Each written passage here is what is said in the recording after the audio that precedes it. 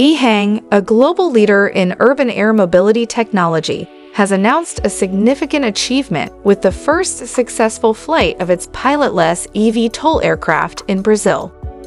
The Brazilian National Civil Aviation Agency recently issued an experimental flight authorization for EHang's EH216, allowing trial operations.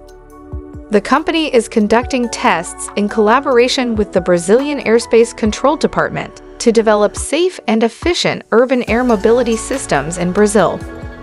Ms. Victoria Xiang, Chief Operating Officer of EHang Europe and Latin America, stated, the ongoing test and trial flight campaigns for the EH216 in Brazil will allow us to accrue a vast amount of data, information, and operational experience, which in turn will pave the way for developing safe, efficient, eco-friendly, and accessible urban air mobility for everyone across Brazil and Latin America.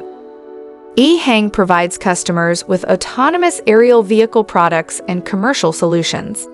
The company's mission is to make safe, autonomous, and eco-friendly air mobility accessible to everyone. Shares of EHang trade on the Nasdaq under the ticker symbol EH. For more information or to sign up for our free daily newsletter, visit greenstocknews.com.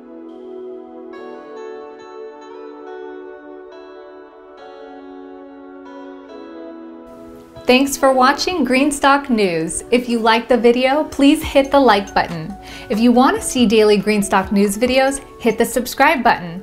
And if you have something to say, please leave a comment.